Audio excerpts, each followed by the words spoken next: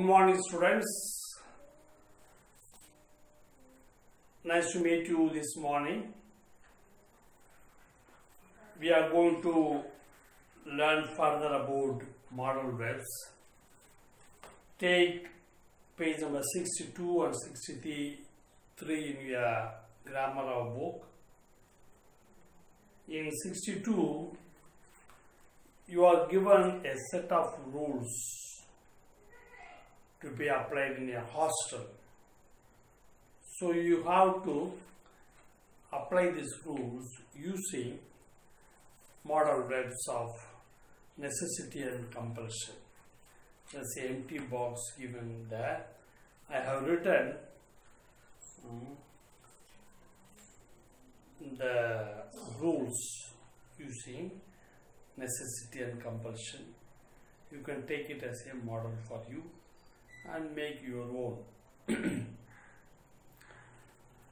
now, exercise C, the first rule wake up in the morning by 6 am.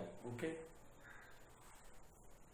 so you can use like this. We have to wake up in the morning by 6 am. Next one, all of us ought to take bath before 7 am. Third one, we must keep room clean at all times. Fourth one, we should not play loud music in the room. Fifth one, we must wash plates and spoons after meals. Sixth one, we have to switch off lights after 10 pm. Okay, so I have written the sentences using necessity and compulsion modal verbs.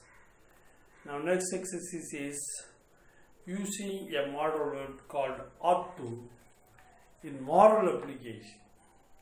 It is a custom uh, to use this modal verb ought to. You ought to listen to your parents, something like that. So when it's in a moral application, use ought to. So there are some sentences given where you apply this modal verb. So it says F. What would you say to these people? Okay. Just everywhere you add you, you, you, and uh, use the model ought to. Okay. Change a little sentence. So here, first one, you ought to respect your parents. Second one, you ought to get up very early in the morning. Third, you have to say truth always. Fourth, you have to do your homework on time. Fifth, you have to welcome guests. Sixth one, you have to speak kindly to others. Okay? So we make lot of changes what is in the book and use the modal verb ought to. Now we have got two or three more exercises.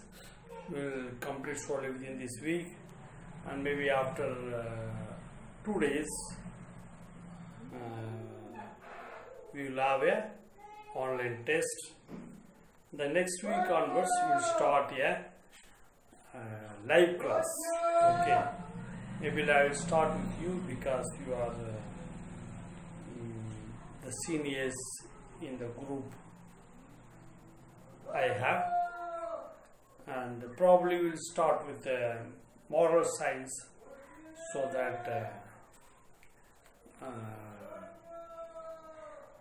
things are a little more better for us to understand each other.